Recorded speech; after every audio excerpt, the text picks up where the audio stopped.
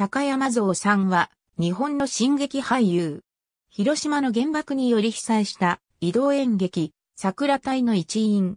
広島平和大通りにある移動演劇桜隊純南碑の側面。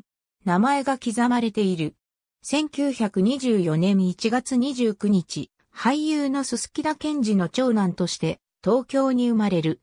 小学2年生の時、姉の妻子と共に東京少年劇団に入る。日本大学芸術科で演出を専攻。佐野浅尾は同窓。大学を卒業後、徴兵検査では兵種合格。父や徳川無生、丸山貞夫らが結成したクラクザで活躍。1945年、クラクザを再編した移動劇団桜隊に参加。その池恵子と丸山貞夫の舞台、無法松の一生では、吉岡小太郎を演じる。舞台監督兼俳優として、広島の宿舎に滞在中、8月6日、被爆した。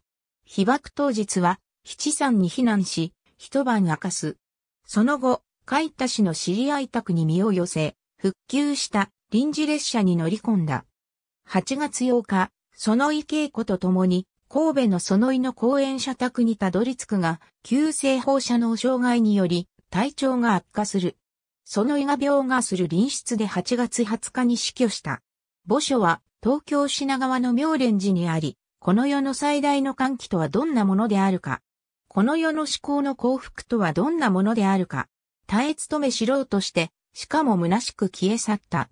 若き芸術家の墓と墓標に刻まれ、父親の鈴木田健二と共に眠っている。ありがとうございます。